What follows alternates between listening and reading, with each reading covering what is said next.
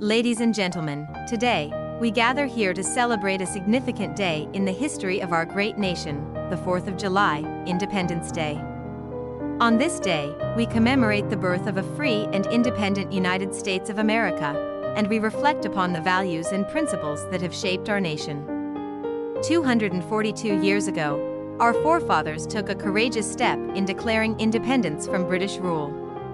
They envisioned a land where freedom, liberty, and justice would prevail. Through their unwavering determination and sacrifices, they laid the foundation for the land of the free and the home of the brave. Independence Day is not just a day for fireworks, barbecues, and parades. It is a time to remember and honor the countless individuals who have fought and continue to fight for the principles that our nation stands for. It is a day to appreciate the blessings of freedom that we enjoy today. As we gather with friends and family, let us also take a moment to recognize the diversity that enriches our nation. Our strength lies in our unity, our ability to embrace different cultures, backgrounds, and beliefs. We are a nation built by immigrants, and together, we have achieved greatness. On this day, let us renew our commitment to the ideals of democracy, equality, and justice.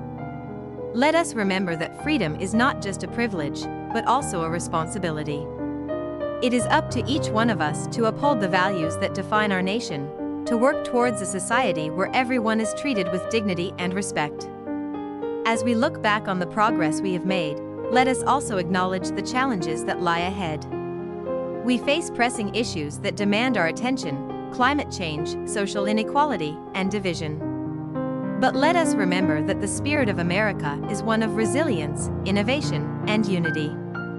Together, we can overcome any obstacle and build a better future for generations to come.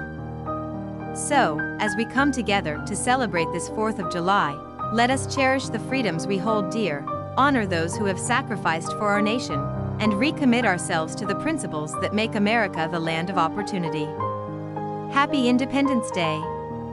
May the spirit of freedom continue to guide our nation towards a brighter tomorrow.